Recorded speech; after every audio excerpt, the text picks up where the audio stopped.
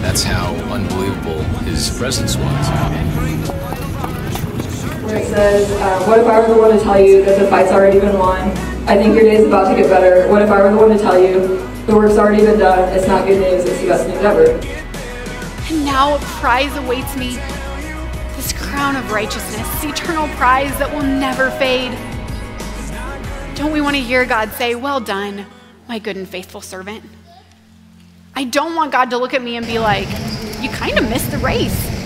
I'm glad you're here, but you kind of missed it. Bummer. You know, do you want another day outside of Sunday? Let's hash this out. Of no terms except unconditional and immediate surrender. He says, I've fought the good fight. I have finished the race, and I have remained faithful. And now the prize awaits me the crown of righteousness is mine. I have fought the good fight. I have finished the race. Just a couple weeks ago, we had a funeral here for the beloved spouse of one of our amazing staff people. And this was the scripture that was read. I've fought the good fight. All of our life races, they have a worldly end.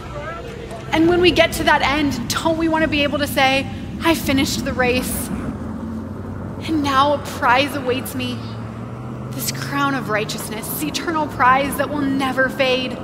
Don't miss this race, church. There's a crown of righteousness waiting for all of us. When we run together, there's glory that is God's and victory that is ours. Run like you can't lose because you can't. Jesus has already won this for you.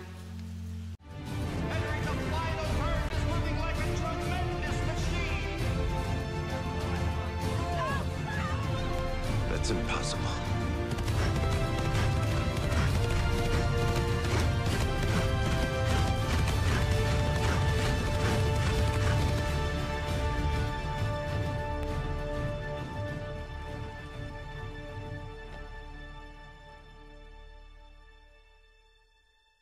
He laughs at fear, afraid of nothing. He does not shy away from the sword.